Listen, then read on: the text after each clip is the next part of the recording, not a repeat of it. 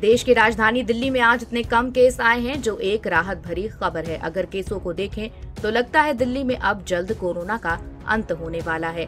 आज दिल्ली में करीब 50 मामले सामने आए हैं।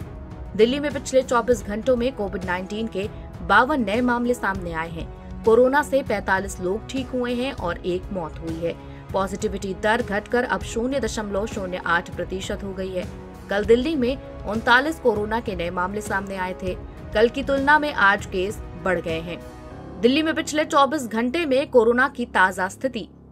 कुल मामले चौदह लाख छत्तीस हज़ार आठ सौ बावन, कुल सक्रिय मामले पाँच सौ चार, पॉजिटिव दर शून्य दशमलव शून्य आठ प्रतिशत, कुल डिस्चार्ज चौदह लाख ग्यारह हज़ार दो सौ अस्सी, कुल मृत्यु पच्चीस हज़ार अड़सठ, मृत्यु दर एक दशमलव सात चार प्रतिशत।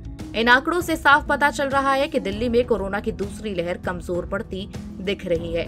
कोरोना वायरस और कोरोना वैक्सीन से जुड़ी हर महत्वपूर्ण खबरों से हमेशा अपडेट रहने के लिए चैनल को सब्सक्राइब कर लीजिए।